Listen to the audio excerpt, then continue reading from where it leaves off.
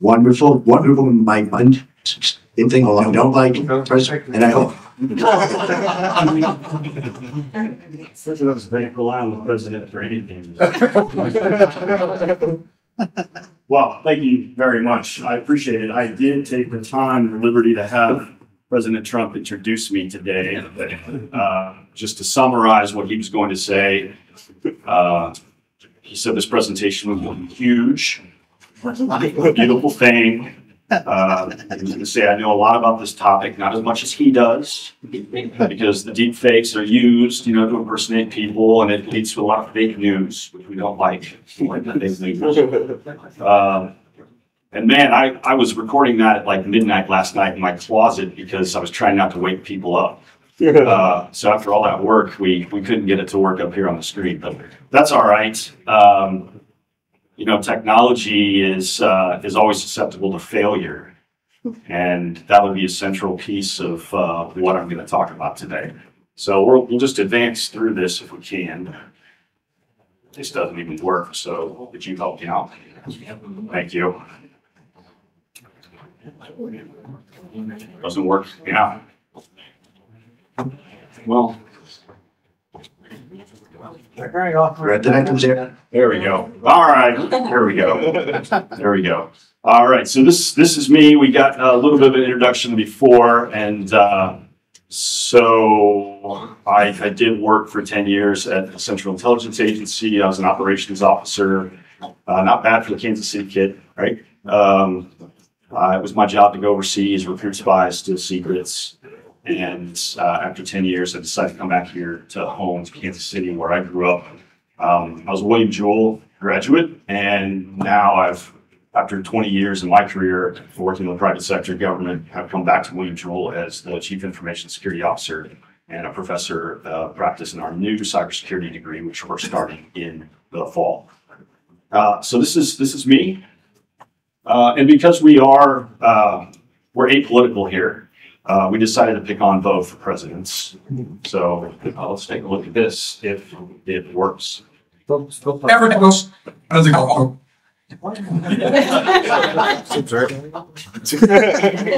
You fall down again? Oh.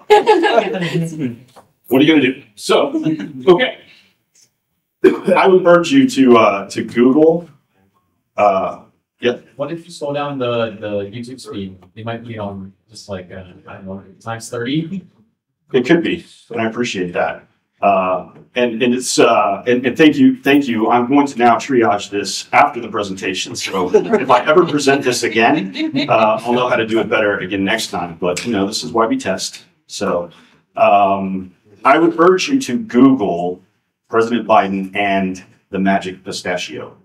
It's 28 seconds of, of pure enjoyment. So, uh, that's fine. We can move on.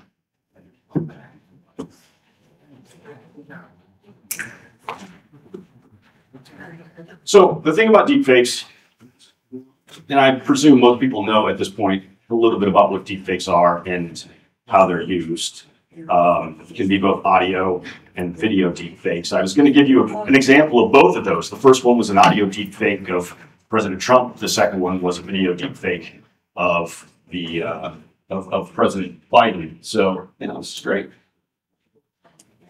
and they are a lot of fun. Thank you, appreciate that. They are a lot of fun, uh, particularly when you can, you know, put other faces on other characters, and there's a lot of fun videos out there on YouTube. And uh, I personally enjoy the Sylvester Stallone in Home Alone, which is a great one if you have you have time, because it's both his face and his voice uh, for that, and uh, it, they can be a lot of fun. Unfortunately, in the business world, um, they've now entered into a realm where they are a new form of business email compromise.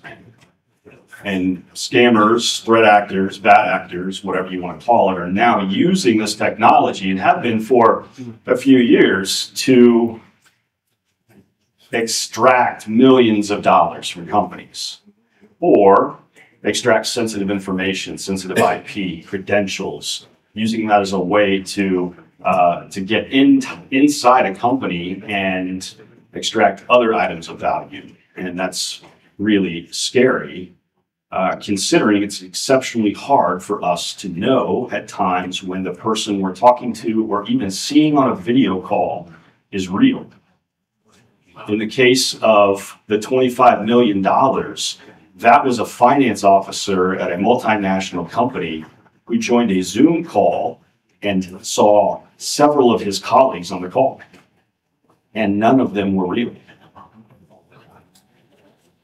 That's pretty scary stuff. And while that's not going to happen to most people every single day, the solution to defeat these things is something that everyone should know. Not only because it's going to be helpful in defeating this type of attack, but it's also really good security and business practices, just to make sure we get things right. So we're going to talk about that today.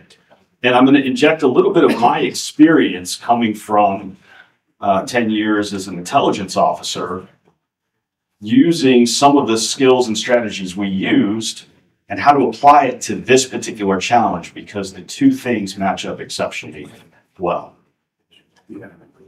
So we're now seeing deepfakes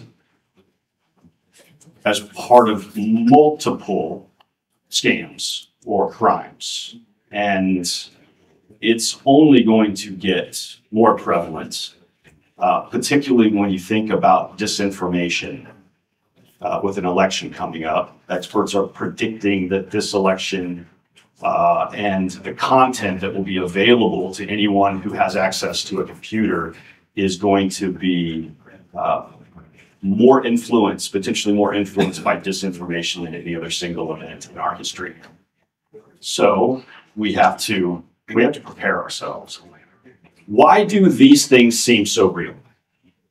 Why is it that you get on a phone call and you think that whomever you're talking to, they sound like the person, maybe their intonation, uh, the, the words that they use sounds like the person.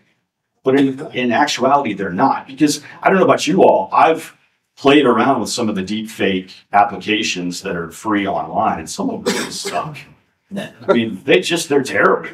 Um, I, I originally thought, so I used to work for Elon Musk when I was at Tesla. I thought, well, I kind of know how he talks. I spent a lot of time with him. I'm going to use Elon for this one.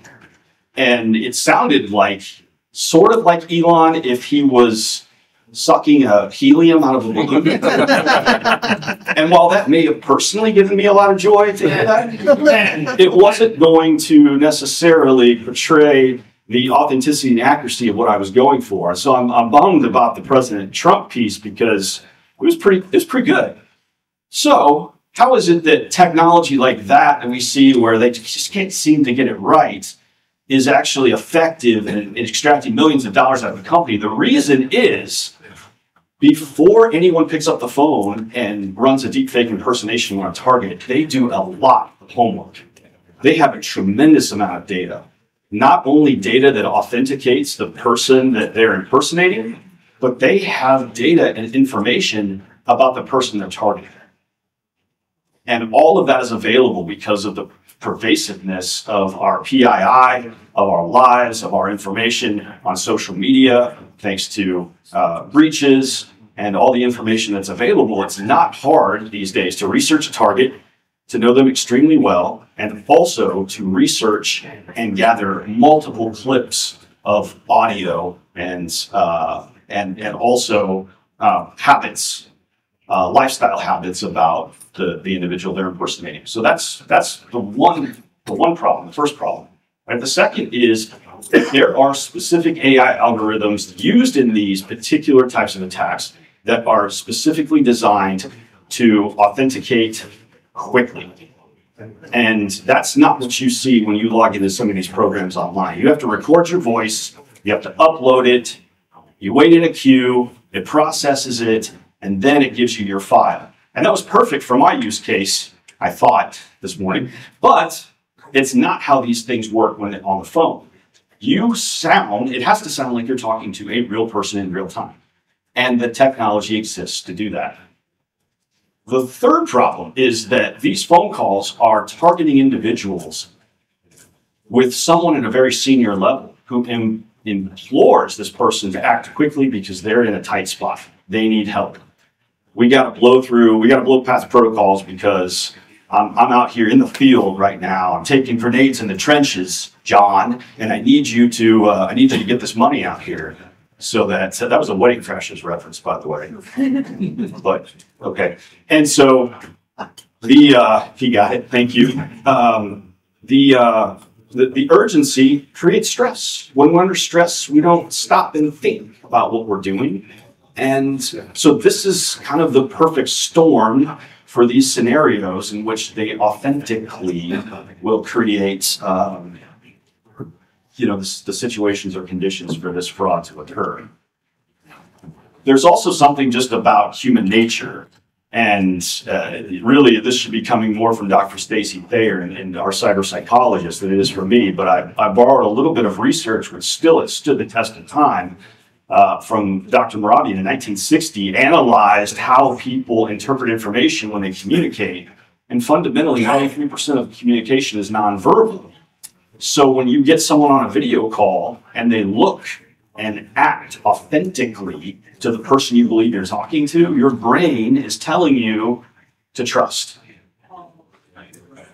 And even if it's an audio call, your brain is still telling you to trust because you're hearing the voice. It sounds authentic. They're using the words, they're telling stories, they can answer questions, and it all sounds like what we would expect.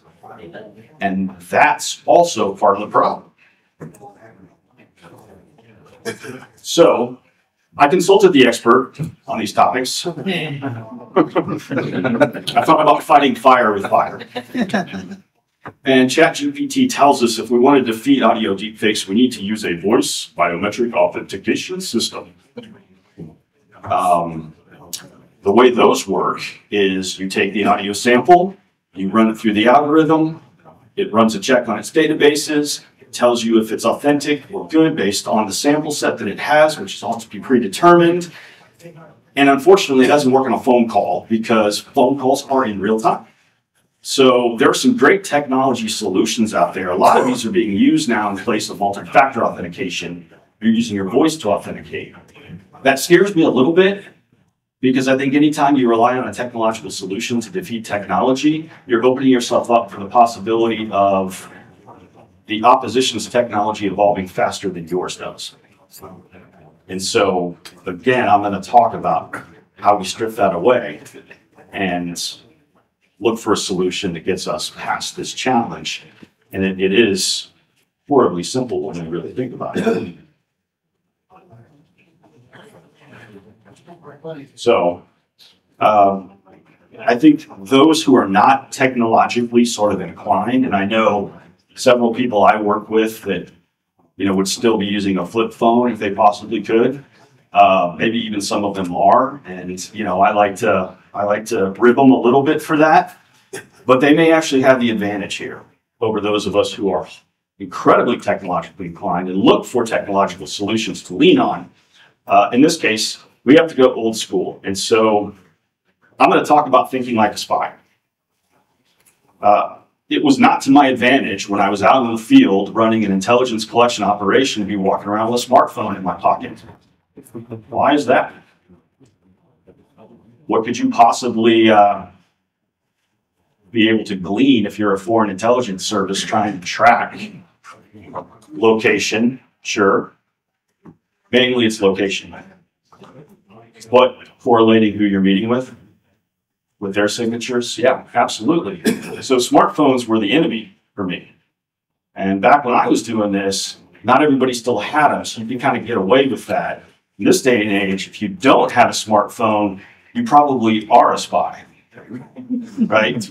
And so even the agency has to evolve through these types of challenges to be able to uh, think about how to defeat technology when you have to have technology with you to be authentic.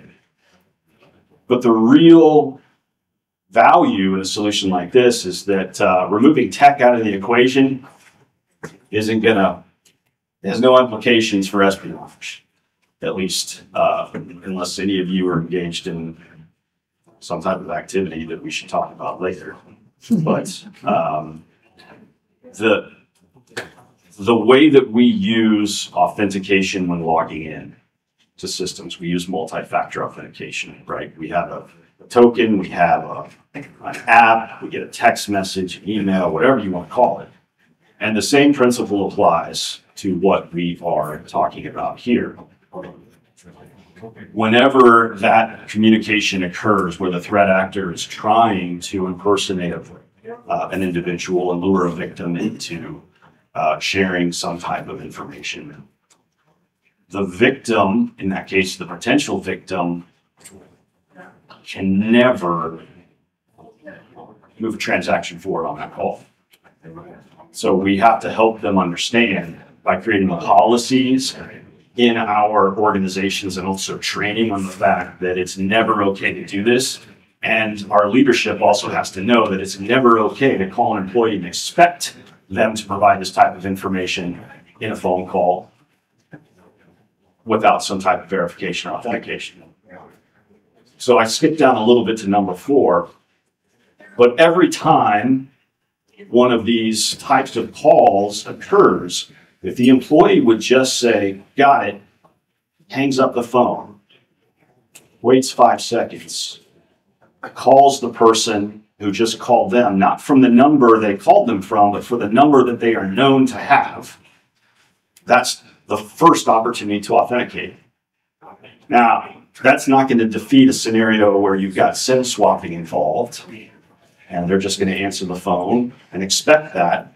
So if you are really concerned about that level of risk and, and problems, uh, face-to-face authentication is always the best.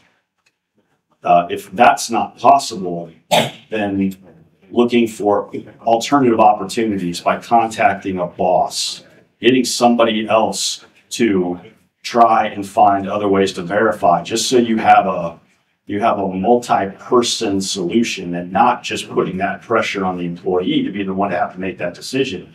Getting somebody else to say, yep, this is authentic, we should, we should do this.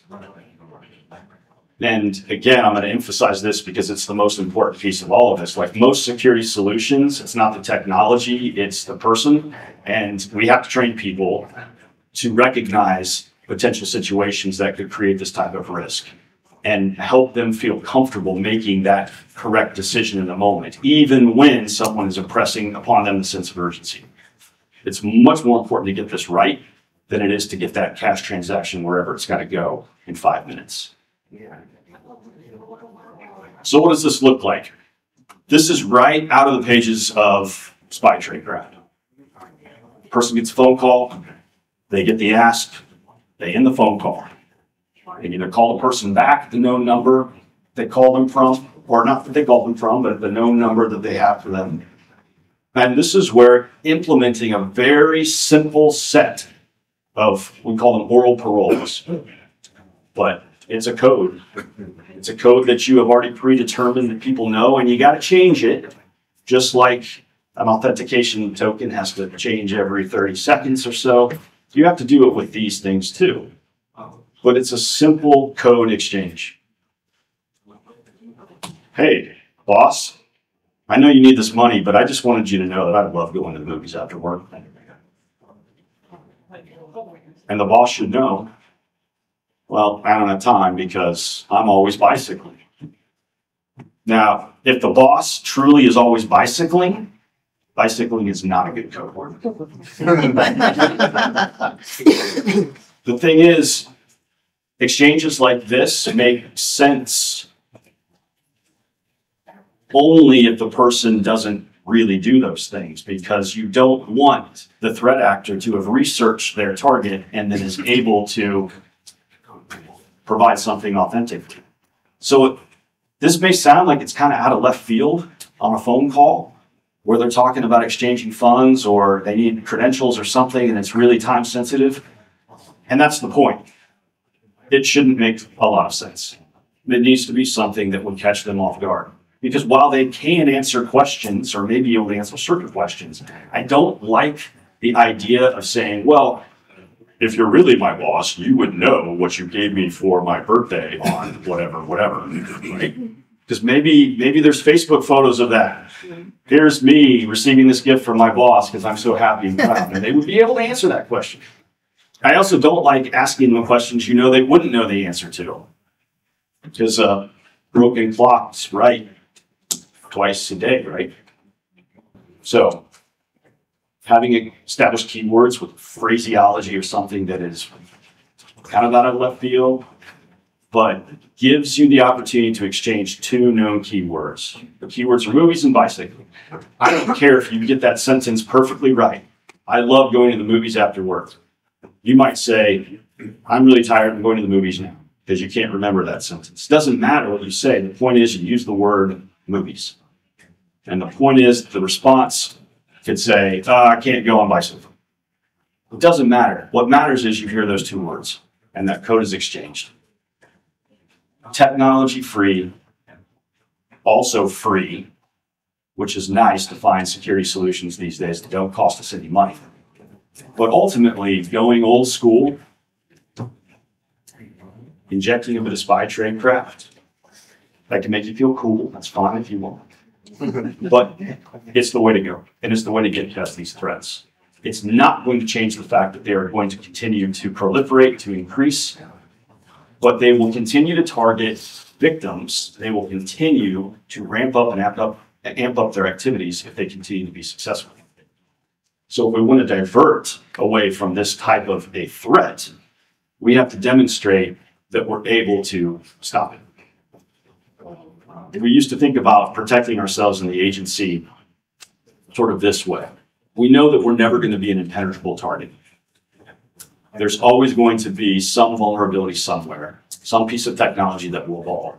But the goal is to make ourselves a hard enough target that it's not worth the time of that adversary. And they go after somebody else who's a softer target.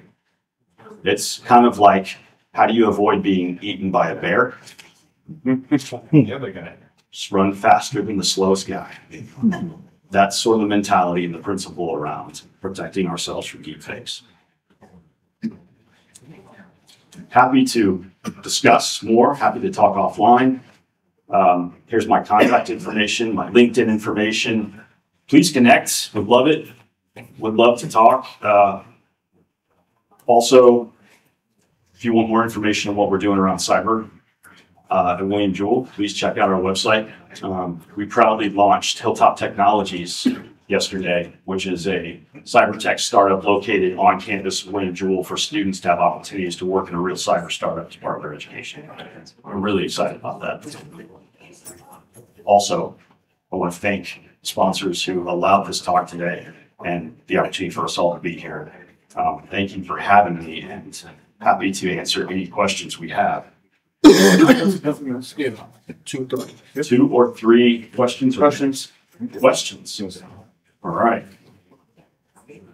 Yes. So we're actually doing something very similar to protect from deepfakes, but we're making a word of the day that we have them ask. Like if the CTO calls me and tells me shut down a customer instance, I go, what's the word of the day?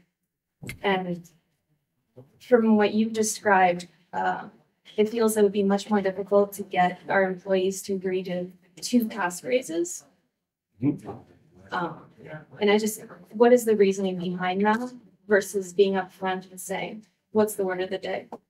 Well, it's a, it's a really good question. And fundamentally, it kind of depends on the level of risk and how much you're willing to invest in security measures to protect what you have to protect and what the threat level is too, right?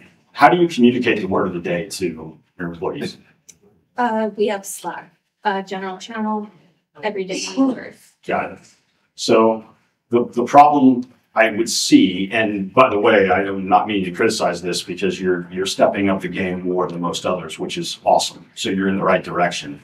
I think you have to think about anything that is password related that's communicated digitally within your company is susceptible to, to being acquired if anyone is compromised, right?